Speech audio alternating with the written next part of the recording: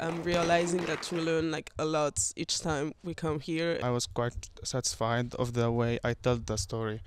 Some emotions were shown, but there is no real chase in this film. Well, the fact that there is no chase at all, this is quite obvious.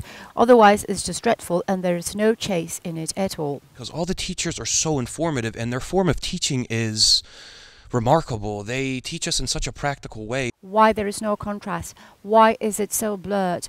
Why is it this greenish, grayish shade? Wszystko da się jakoś przetłumaczyć albo, albo sparafrazować. I, I like this twisted imagination of, of uh, the author of this film. There are a couple of takes presenting a chase, which, given previous assignments, is quite an achievement. Nie ma pościgu, tak? W dużej mierze nikt nikogo nie goni. E, Próbowaliście to w jakiś sposób obejść i ja nawet wiem dlaczego.